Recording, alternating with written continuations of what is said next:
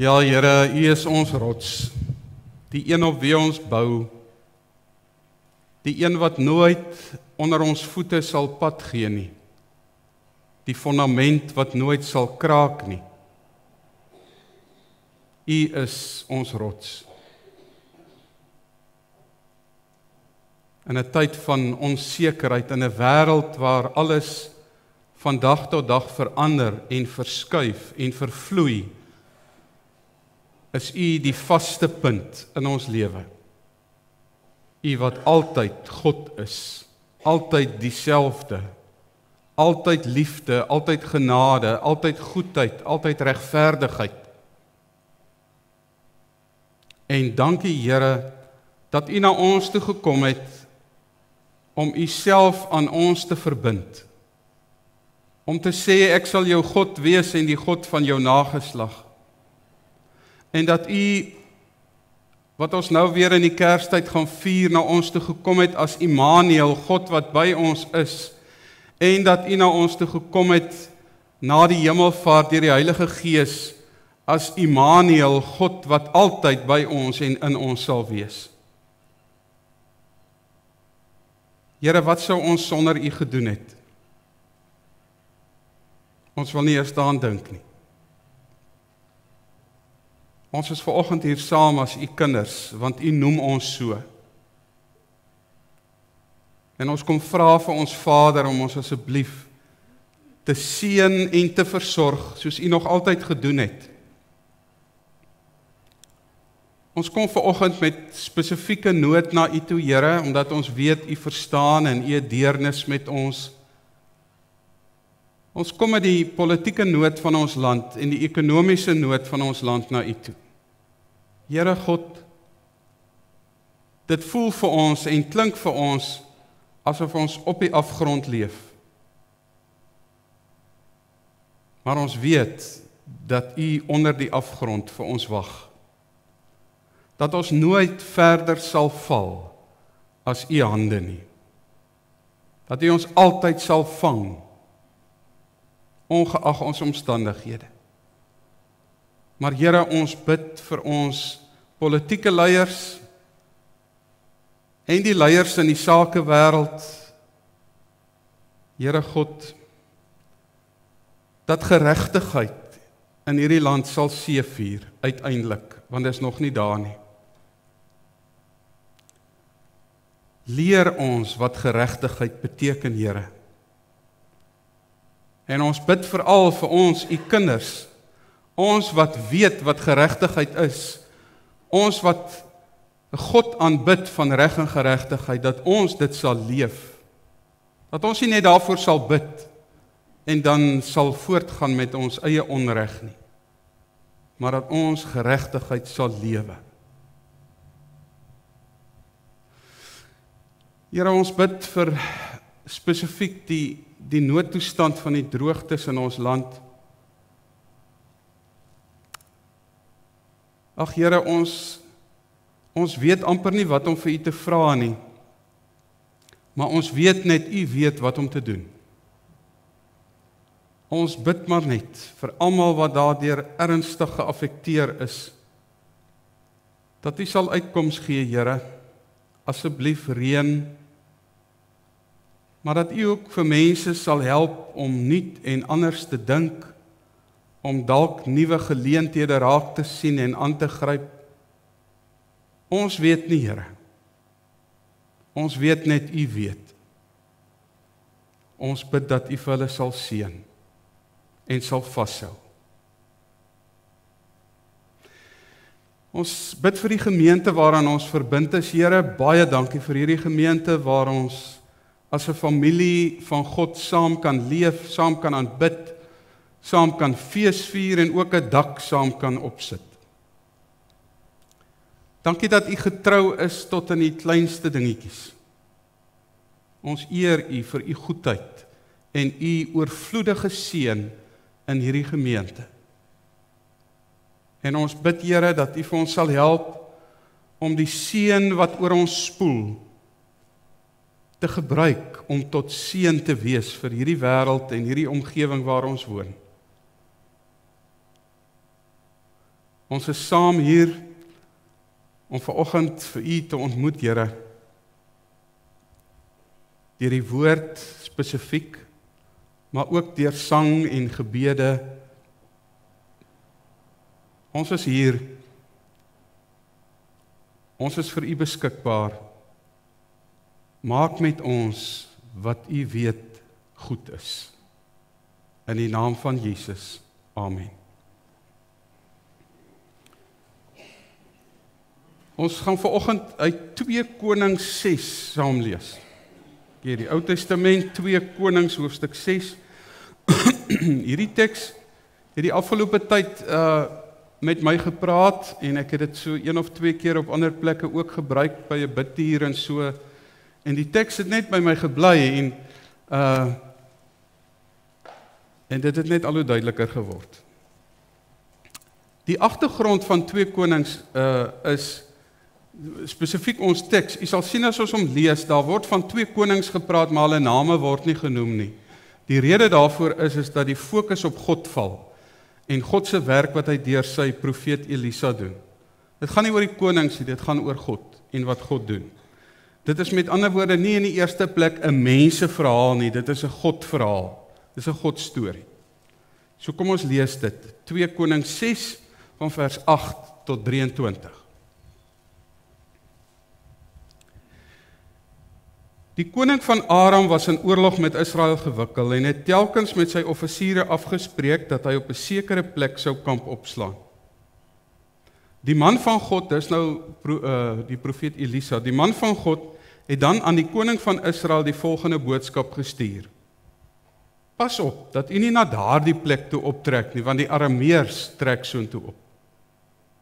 Gevolglik het die koning van Israel boodskappe deurgestuur na die plek toe wat die man van God aan hom genoem het en hom oorgewaarsku het. Die mense wat daar was, die mense daar was dan keer op keer voorberei. Die koning van Aram het baie onrustig geword hieroor.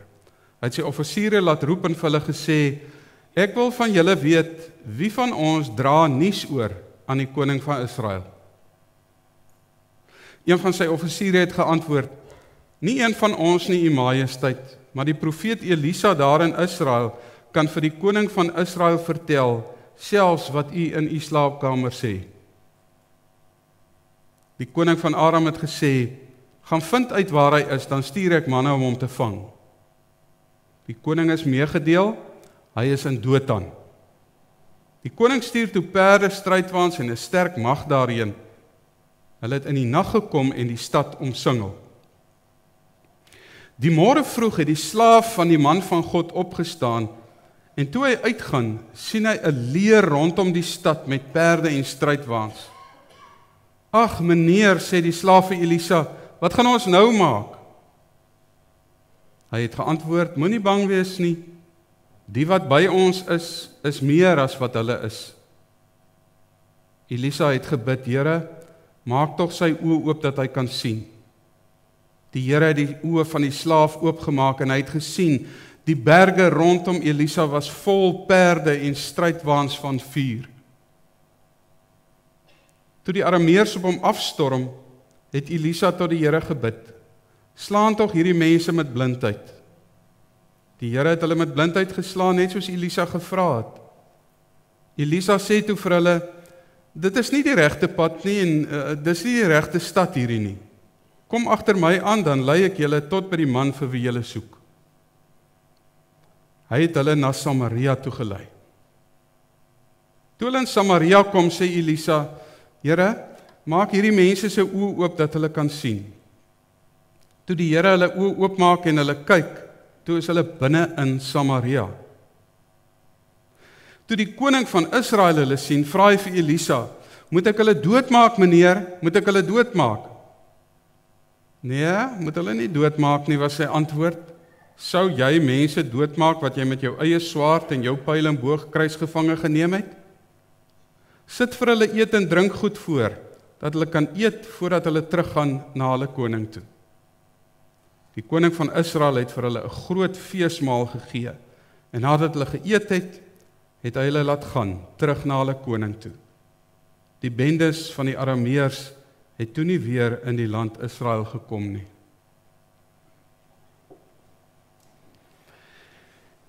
Wat sien ons? Kom ons kyk ver oggend eers na hierdie verhaal self. Wat gebeur in hierdie verhaal? Is 'n verskriklike interessante storie. Kyk, die Arameërs en die Israeliete was ongeveer permanent vyande gewees. Daar was permanent een of ander soort oorlog tussen hulle. Partykeer was dit 'n volskaalse oorlog en dan het die Israeliete gewoonlik verloor. En partykeer was dit kleiner groepie bendes wat in Israel strooptogte gaan uitvoer het. Soos nou die geval in ons verhaal. Is kleiner groepie soldate bendes wat kort kort in Israel insypel en dan vat wat hulle wil vat en as hulle enige teestand kry dan vloei die bloed. Hierdie klein oorloggies of strooptogte het onder die bevel van die koning van Aram gebeur. Die koning het besluit waar hulle volgende gaan toeslaan. En dit was natuurlik 'n staatsgeheim. Maar nou het daar 'n groot probleem gekom. Want elke keer waar die bendes ook al kom en wil toeslaan, kry hulle niks en niemand nie. Elke keer kom hulle voor daai mans deur. En dit het die koning van Aram taamlik ontstel. En hy kan net aan een antwoord vir hierdie raaisel dink. Iemand praat uit. Een van sy soldate moet 'n verraaier wees. En uh en die, sy geheime sendings vir die koning van Israel verklap. En hy roep toe sy offisiere bymekaar en hy vra vir hulle reguit: Wie van julle verklap ons geheime? Wie van julle is die verraaier onder ons? Wie is die geheime agent van die koning van Israel? Wie is die red? Ken jy die term red? Is 'n bende term. Nou die ou wat vir die polisie stories loop vertel. Hulle noem hom 'n red en hy leef gewoonlik nie lank nie. So wil die koning van Aram weet, wie's die red onder ons? Wie gee ons geheime inligting oor aan die koning van Israel. Nou een van die offisiere het toe presies geweet wat aan die gang is en hy sê nee koning, dis nie een van ons wat ge, ons geheime verklap nie. Dis die profeet van Israel. Sy naam is Elisa. En Elisa het twee stelle oë wat kan sien wat gewone mense nie kan sien nie. En hy het twee stelle ore wat kan hoor wat gewone mense nie kan hoor nie. Weet jy nou, hy kan selfs hoor wat u in die slaapkamer vir jou vrou sê. Dis hy wat wat sien wat ons planne is. En dan gaan waarsku hy die koning van Israel en die koning van Israel op sy beurt gaan waarsku die mense van daai gebied wat daai bendes wil toeslaan. En dan vat daai ouens hulle goed en hulle vrouens en kinders en hulle diere en hulle sorg dat hulle wegkom. Die offisier was natuurlik reg geweest. God het Elisa laat sien en hoor wat die bende se planne was.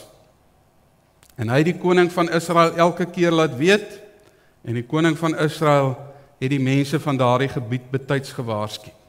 Op daai stadium was Israel se weermag nie sterk genoeg om teenstand te bied teen die Arameërs nie en daarom het hulle nie geveg nie maar eerder gevlug.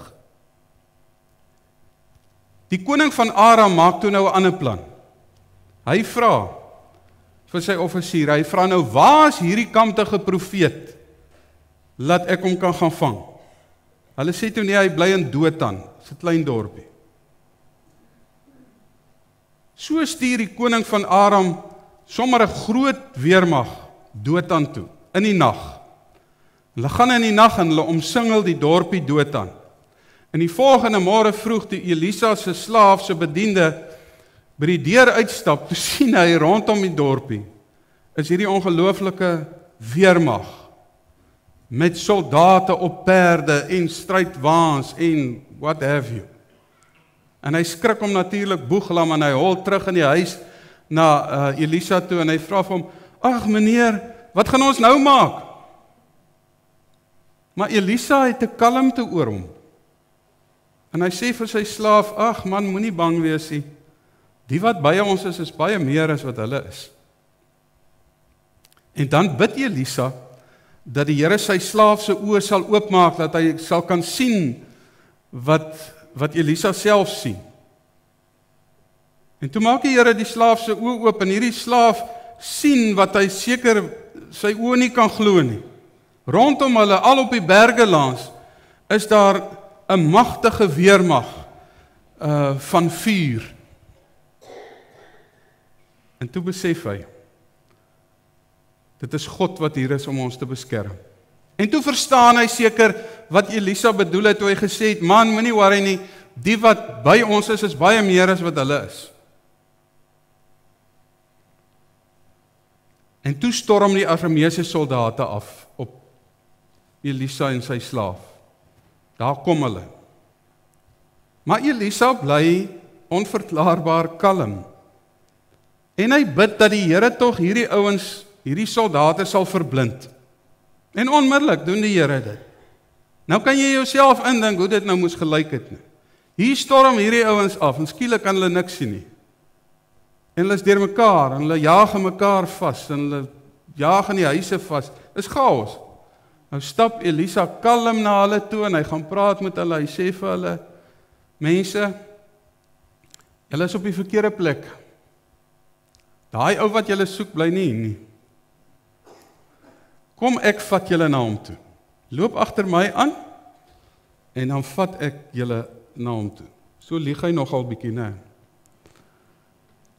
En dink net hierdie hierdie, hierdie prentjie van Hierdie soldate wat die een oomblik op Elisa afstorm om hom te vang, in die volgende oomblik stap hulle soos 'n trop skape agter Elisa aan. Daar gaan hulle. En so lei Elisa hulle nie sommer na enige plek toe nie. Hy lei hulle na die hoofstad van Israel, Samaria.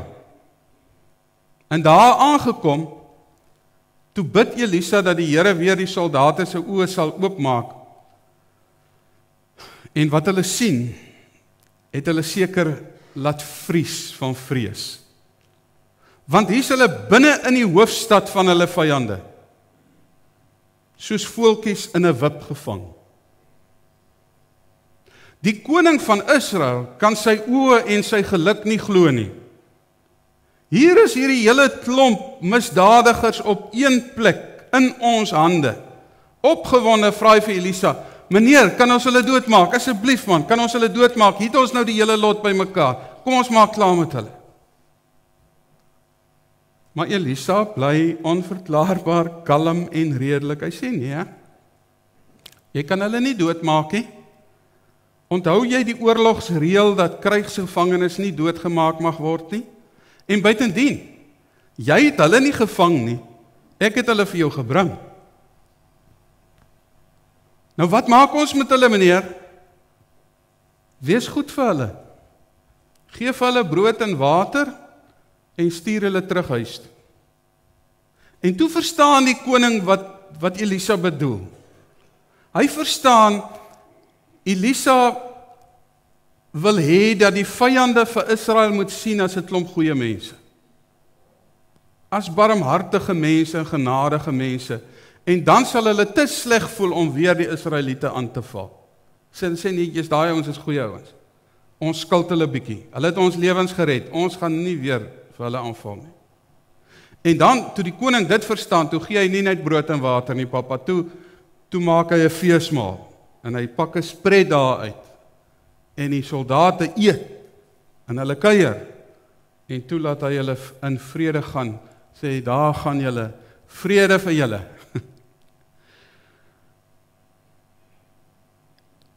Die storie sluit af waar hierdie soldate vrygelaat word met hulle vol magies terug gaan huis toe. En dan staan daar hulle het Israel vir 'n tydjie lank gelos. Nie gou weer aangeval nie. Maar dit het nie lank gehou nie. Want as ons verder lees, dan sal jy sien hulle het weer. Maar dis 'n ander dag se storie. Dis die storie Maar agter hierdie storie is daar 'n God storie. En dis die eintlike storie wat ons vanoggend moet raaks. Wat is die storie agter die storie? Die storie vra van vir my en vir jou 'n belangrike vraag. Die gewone vraag: Wat sien ons? As ons rondom ons kyk, as ons die lewe so rondom ons bekyk, wat sien ons? Hoe ver sien ons? Sien ons soos Elisa se slaaf net die gevaarlike goed op die naby horison wat op ons afstorm? Of kan ons sien soos Elisa verder? Kan ons dalk sien wat Elisa se slaaf gesien het nadat die Here sy oë oopgemaak het op die verder horison die teenwoordigheid van God by ons? Wat ons sien sal ons of baie bang maak of dit sal ons kalmeer. As ons net die naby horison met al sy gevare sien wat op ons afstorm, sal ons baie bang wees. Sal ons elke dag in vrees lewe. Maar as ons die groter horison van God se teenwoordigheid kan sien, sal ons soos Elisa kan ontspan en kalm bly. En dit kan net God vir ons doen. Sonder God kan ons net die naby horison van hierdie aardse lewe raak sien. Sonder God is ons blind vir die groter verder horison van God se teenwoordigheid.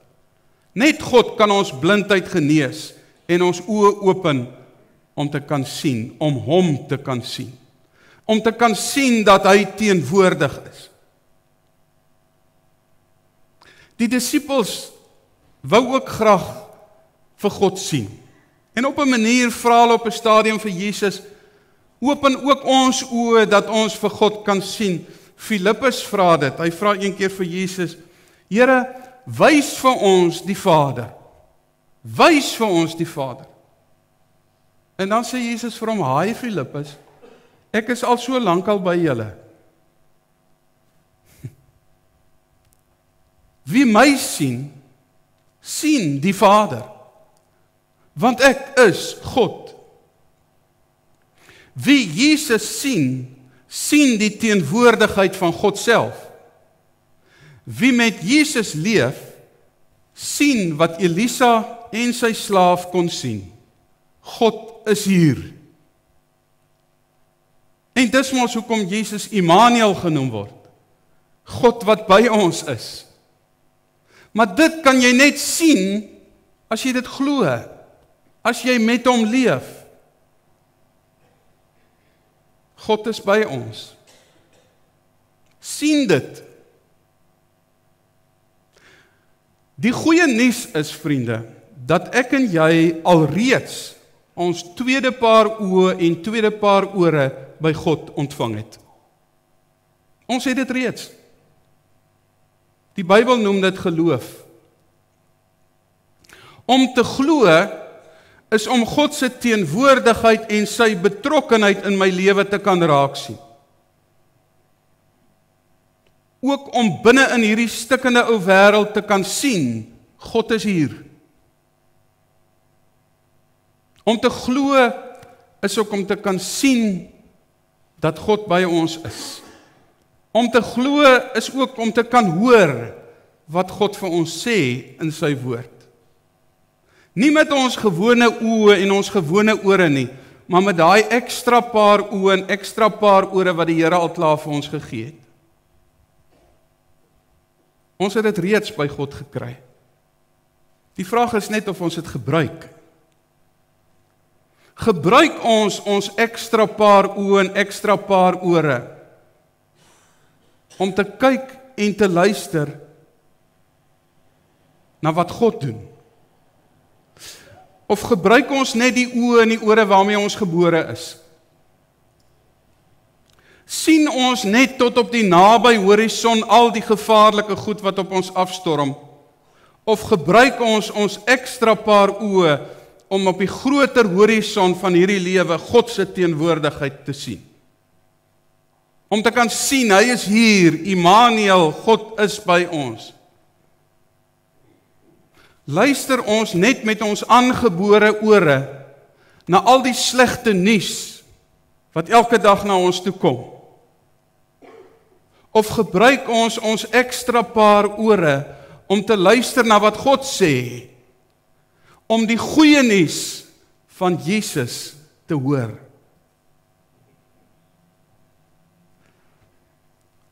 Hoe kyk en luister ons na die lewe nou in Suid-Afrika? Ons kan nie help om met ons aangebore ore al die slegte dies dag vir dag te hoor nie. Ons kan dit nie help nie. Ons kan ook nie help om met ons aangebore oë op die naby horison al die gevaarlike goed te sien afstorm op ons nie. Ons kan dit nie help nie, dis realiteit. Maar ons het ook mos by God 'n ekstra paar ore en oë gekry. Ore waarmee ons elke dag die goeie nuus van Jesus Immanuel kan hoor. Oë waarmee ons elke dag op die groter horison God se teenwoordigheid Immanuel is hier kan raak sien.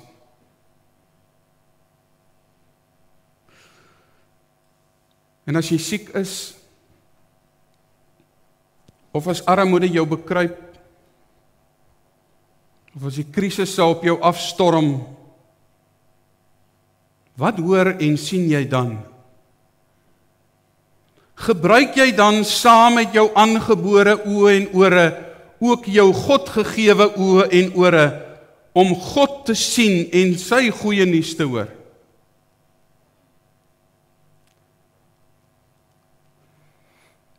Wat sien ons?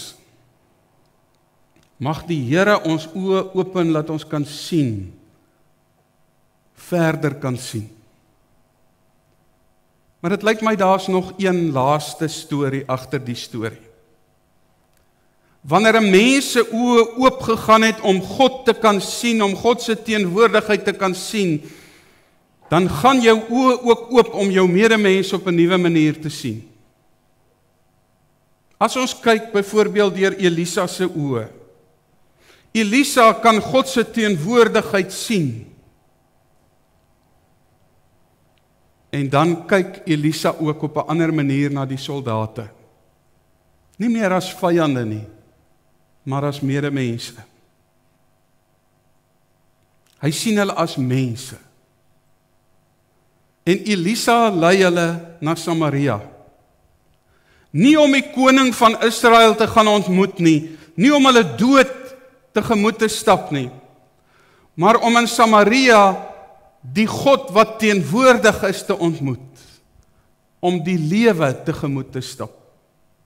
Daarheen lei Elisa hulle. Deur die goedheid wat Elisa en die koning aan hierdie soldate bewys, deur die lekker kos wat hulle eet en die manier waarop hulle vrygelaat het, wil Elisa hê nie net dat hulle sal sê o, daai klomp Israeliete is wonderlike mense nie, maar dat hulle sal vra, hoekom is daai ouens so anders? Hoekom doen daai ouens sulke goed?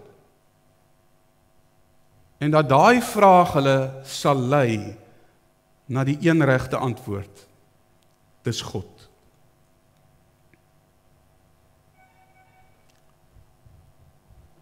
Elisa hoop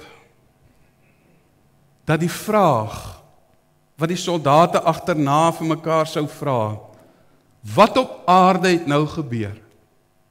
Hoekom is hierdie mense so anders, so goed? Is hulle mal of wat? Dat daardie vraag hulle sal lei om agter te kom, dis nie die mense wat so goed is nie. Dis God. Ja vriende, As jou oë oopgaan vir God se teenwoordigheid en sy goedheid, dan begin jy ook anders kyk na mense. Dan word selfs jou vyande mense wat jy nie meer wil doodmaak of doodwens nie. Maar vir wie jy wil goed wees. Mense vir wie jy wil bid. En dis mos presies wat Jesus ons geleer het. Jesus het op 'n keer vir sy volgelinge gesê, Julle het gehoor dat daar van die ou tyd af gesê is Jou naaste moet jy lief hê, maar jou vyand moet jy haat. Maar nou sê ek vir julle, julle moet julle vyande lief hê en julle moet bid vir julle vervolgers. As jou oë vir God oopgegaan het, dan gaan jou oë oop vir jou medemense. Paulus het dit ook baie goed verstaan. In Romeine 12 vers 20 en 21 skryf Paulus: As jou vyand honger is, gee hom iets om te eet. As hy dors is, gee hom iets om te drink, want deur dit te doen, maak jy hom vuur rooi van skaamte. Moet jou nie deur die kwaad laat oorwin nie, maar oorwin die kwaad deur die goeie. Daar's niks wat die kwaad kan oorwin soos die goeie nie. Daar's niks wat haat kan oorwin soos liefde nie. En as ons hierdie vreemde ding doen om vir vyande goed te wees en vir vervolgers te bid, dan sal die ongelowiges ons ook so kyk en sê, wat gaan aan met hulle?